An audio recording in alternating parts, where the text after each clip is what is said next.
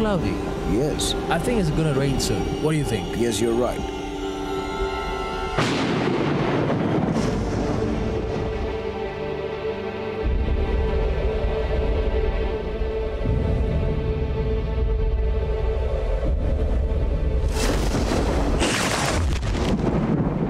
Good morning, my dear friend.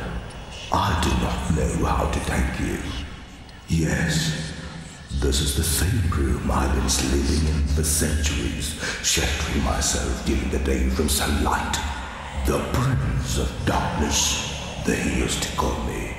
Until that wretched Romanian priest expelled me from this world to seek revenge against Satan.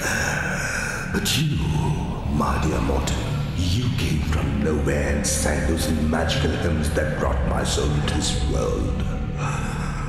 Who are you? I am. I Roy. Well, I hope you can't recognize me.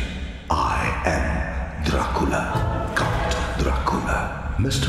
Roy, you cannot see me like that. My soul has returned, but I am yet to regain the form of a man. I want to be Dracula again and quench my never-ending thirst for the human blood. And there is only one way to do that, Roy. Yes, into his warm corpse. I'm sorry, Roy, but I have to kill you. Eh? Uh, I shall live through your body, learning the languages I had never heard before, and shall live to the end of this world.